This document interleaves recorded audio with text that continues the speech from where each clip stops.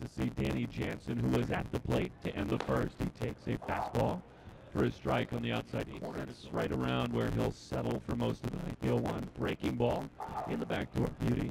Looks like he's got the feel for that. That one misses a little bit low. Maybe a changeup, maybe from the right side. Loops it over the head of the shortstop into left field. That is a base hit.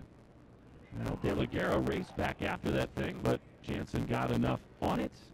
And for the first time in a couple innings, the Bisons have the leadoff man aboard ahead of Reese. Our reading programs, and it's really something that we're just trying to drive home to encourage reading. It's important, and especially like Jalen Beeks with a 1 0 pitch. Jansen takes it high. It's 2 0. Do you find, Danielle, that these. enjoy that, but it's something where you got to get back to just the love of having a book in your hand. You know, One now the count on Jansen. Here's the pitch. Fastball over the inside corner. 2 and 2. At the sign- 2 and 2. Tellez leads from first, and Jansen just gets a piece, swings and fouls it back. Doesn't matter what and he's down there in the stands someplace. Um, he probably reading the program. he he might be re- yes, he is probably reading some or a hot chocolate. 3 and 2, and a fastball misses down and into Jansen from Beeks. Well, close pitches, but ball four, and that's only the second walk from Jalen. Jansen and McGuire. Danny Jansen, first of those, takes ball one. They bat fifth.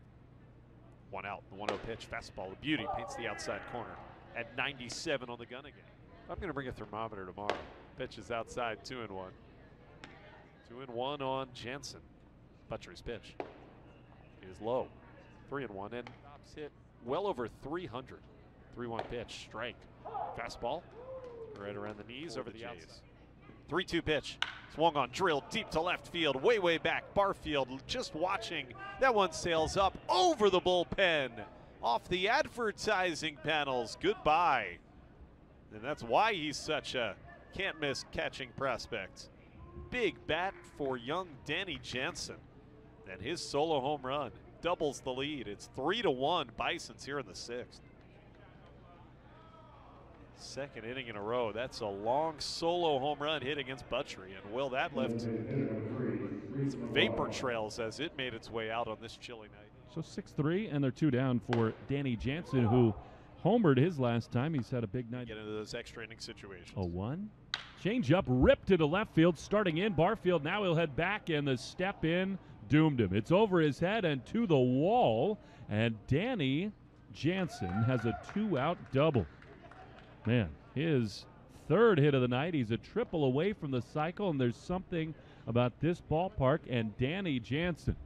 Three He's for been on three. base with a- four times. Runner at second, the pitch. No bunt shown, and a fastball's in at the knees. 0 1 on Danny Jansen. He's got a homer. The pitch. Swinging a high fly ball deep into right center field. On the run is Castillo. Back over his head. It lands off the warning track, and Jansen's done it again. Oh, the runner is held at third, but Danny Jansen, the batter, never saw that. Throw comes to the plate. Buffalo's got two men standing on third.